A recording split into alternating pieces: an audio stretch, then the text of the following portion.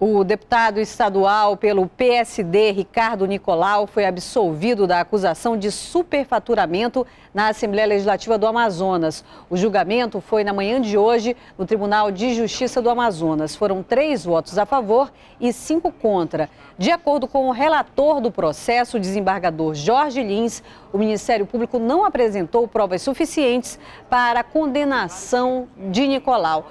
O MPE diz que vai recorrer da decisão. E hoje o governo entregou a Lei de Diretrizes Orçamentárias para 2018. A LDO estabelece metas e prioridades financeiras para o ano seguinte. Essa foi a primeira vez que um governador foi pessoalmente levar a lei na Assembleia. E o respeito à casa do qual faço parte. Eu fiz questão de vir entregar pessoalmente é porque o diálogo está mantido e, sem dúvida alguma, respeito à instituição da qual faz parte. Os percentuais da LDO vão ser distribuídos entre outros poderes. O Judiciário vai ficar com 7,8%, o Ministério Público com 3,35%, o Poder Legislativo com 6,65%, 3,75% ficam para a Assembleia e 3% para o TCE. A novidade da LDO é o aumento do percentual da receita líquida do Estado, que já garante as emendas impositivas. É 1,2 da receita líquida. Este ano ah, já foi em torno de 5 milhões e 400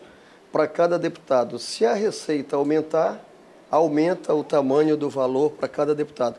Se diminuir, do mesmo jeito ela vai diminuir mas o que está certo é que é 1,2 da receita líquida. Alguns deputados propõem diminuir os recursos do TCE para aumentar o da Defensoria. De 3 pontos percentuais para 2 e aumente a Defensoria de 1,05 para 2,05, iniciando o debate que é importante que toda a sociedade tenha sobre a destinação dos recursos públicos.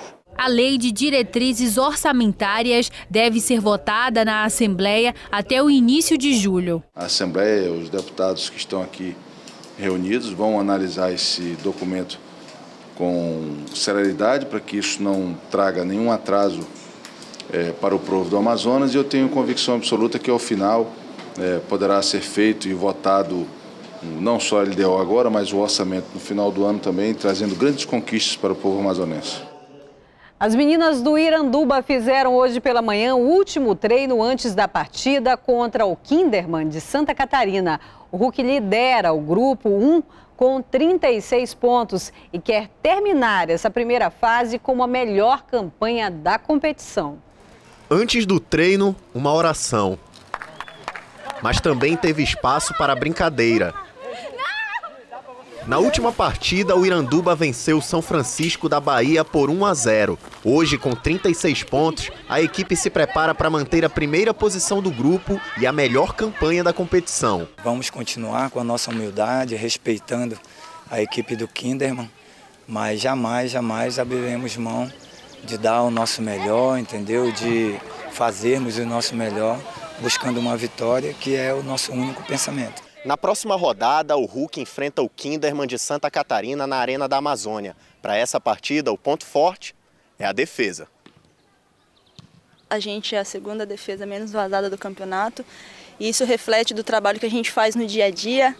Normalmente as goleiras chegam mais cedo, antes das meninas, e são sempre as últimas a sair. E justamente, graças a Deus, está é, tá refletindo nesses resultados positivos que ganha o grupo todo. Em 13 jogos, o Hulk da Amazônia perdeu apenas uma partida para o Corinthians, segundo colocado do grupo. Para a craque do time Jennifer, a expectativa para o jogo de amanhã é boa. A gente está preparado e a gente vai buscar a vitória, até porque o primeiro lugar não só nos interessa, como para a próxima fase garante que a, o segundo jogo da, da decisão seja sempre na nossa casa. Então a gente tem, tem tudo para fazer um, um excelente jogo.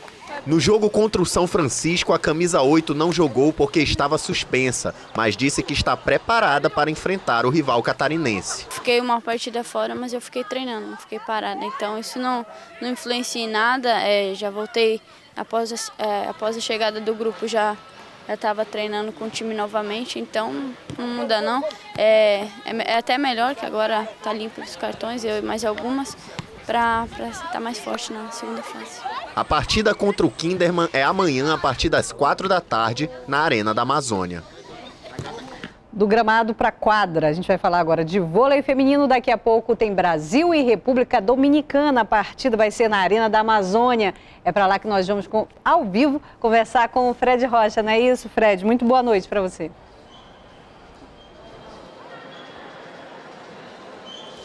Muito boa noite, Marcela. Boa noite a todos. Olha, a partida aqui na Arena Amadeu Teixeira é só às 8h30 da noite, por isso a gente consegue observar ainda o ginásio bem vazio, os torcedores ainda estão chegando aqui. Só ressaltando em relação aos ingressos, eles ainda estão à venda aqui na bilheteria da Arena Amadeu Teixeira, vão de 50 reais a 200 reais. Esta partida, como nós já estamos falando no decorrer da semana, inicia-se agora um ciclo olímpico, já dito pelo técnico José Roberto Guimarães, técnico da seleção brasileira, então vai ser uma partida contra a República Dominicana de testes. Muitas caras novas na seleção brasileira e só algumas experientes como Tandara Natália, campeãs olímpicas em 2012. Vai ser um jogo importante então para o técnico já ver ali as jogadoras que vão bem, vão ir bem neste jogo. A República Dominicana tem o técnico Marcos Kivieck que já trabalhou com José Roberto Guimarães e não trouxe três das principais atletas porque estão desgastadas, mas trouxe trouxe outro atleta importante que é a Braielen Martinez, deve jogar aqui.